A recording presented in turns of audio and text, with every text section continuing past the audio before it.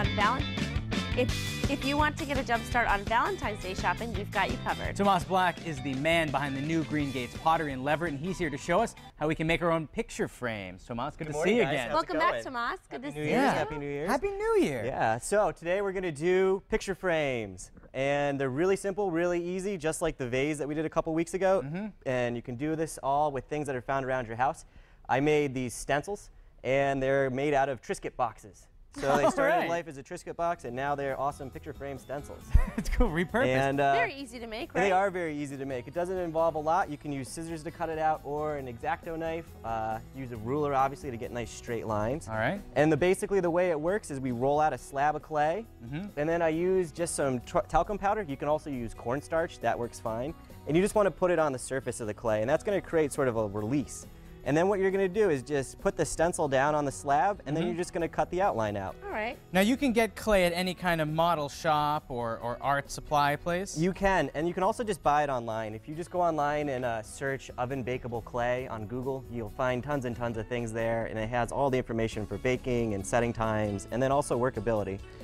Because this is something that's also pretty cheap too, right? It's very cheap, yeah. I think to get the, the right kind of clay to do this sort of thing with, it's really inexpensive. It's about $20 for about five to 10 pounds of clay. That's not Oh, and not to make each one of these slabs, I think it's, you know, it's maybe a pound and a half of clay to make a slab. So, you know, for that price, you can make yourself a lot of picture frames. Yeah. Now, Tomas, is there a certain kind of clay that you should search for online? Like a specific kind? Just oven bakeable clay Oven because bakeable. most people don't have ceramic kilns at their home like I do. yeah, true. no, I so you want something that you can use in the oven, which makes life really easy.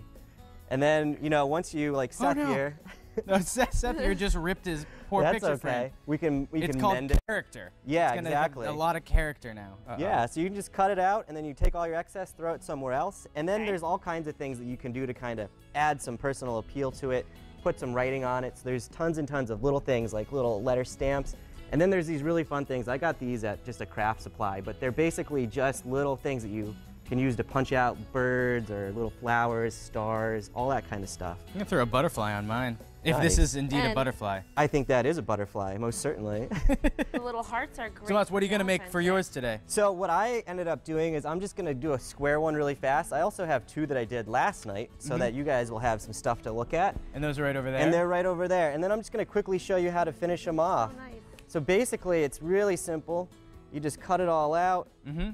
And then once we get it cut out, then we just wanna start adding our exterior details. And again, you can put badging on. So if you have a, a special loved one that you wanna create as a memento, you can use the lettering to kind of squish in Oh, there and write their name or on my picture frames, I think I did one called like love and family memories, and Happy the other one is yeah. more specific for Valentine's Day kind of stuff, where there's X's and O's on it, and there's you know future dreams and happy memories and love and all that kind of good stuff. And then I added hummingbirds and little roses to kind of set it off, so you have that lovebird kind of effect. I oh, love that that's you can smart. really, with these little, um, with the letters, you can really personalize You can it. really personalize so it. Yeah, great. it's kind of you know it takes a little bit of time. I pre-laid mine out just because you know I knew it was Mm-hmm. Oh. gonna be a little bit harder to kind of go at it. But uh, you know if you have the time, like everyone does at home, you can sit down and in an hour you can make a couple of these pretty easily. So once we finish getting the exact effect that we want and using all the cutouts and the lettering, what's the next step making this Okay. ready to,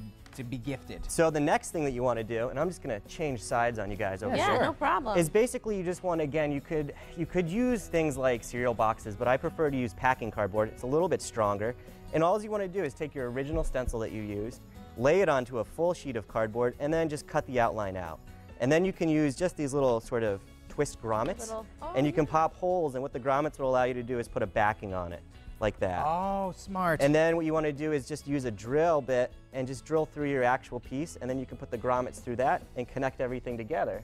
So it's really simple where you don't need anything crazy. You can find all this stuff at crafting supplies, and most people probably have it in their homes already, especially if you have little kids. Little kids always construct with these things. They're like the world's best, easiest fastener. so it makes it simple. gotta have those. Yeah. now. Yeah. And it's so. it- It is such a great thing that you can do with your kids because it makes them feel like when when they're giving it to someone, it's extra special because they made it. Yeah, homemade products are the best Yeah, products. of course. It comes from the heart, I remember I gave I gave a, a little sign that said number one Pepe to my grandfather, and now I actually have it in my laundry room because I, I gave it to when I was a kid, and now I have it as a keepsake. But something like that that you Exactly. never think is going to come back around that you'll cherish forever. So a picture frame like this is really special. And what you know, once it's baked in the oven, uh, it's basically going to be on Earth forever. So you know, it's, Mm-hmm. if it breaks, you can glue it back together. But generally speaking, it's going to last for a really long time. And then you know, the finished products look pretty good. I didn't really have a good photo this morning, so I just grabbed one of myself in my studio. I studio. think it's a great photo. I love it. But this is kind of what you end up with the finished looking product. You have your backing on it, and Mm-hmm. then you have your front, and everything's just connected with your little grommets. And then what I did to kind of add some color and detail to it is I just took standard acrylic paints. And I just took a brush and I painted it all. So now you can really add some sort of, you know, really, really color set off kind of things. And again, like with the Valentine's Day one, the red flowers and the red hummingbirds really makes it pop really I nice. think they are Even on just the raw color. so great. They, they're such a great gift that you can make with your kids, or just if you want to do a project at home. Yeah. Thanks I so much, think I have my Tomas. Valentine's Day Oh all my planned goodness, out. look at Lots that. of exos on here. Hugs Oh, and kisses so for nice, the wife. Seth. Get some Thank bonus you points. for being oh. here, Tomas. No problem, So nice guys. to have you here.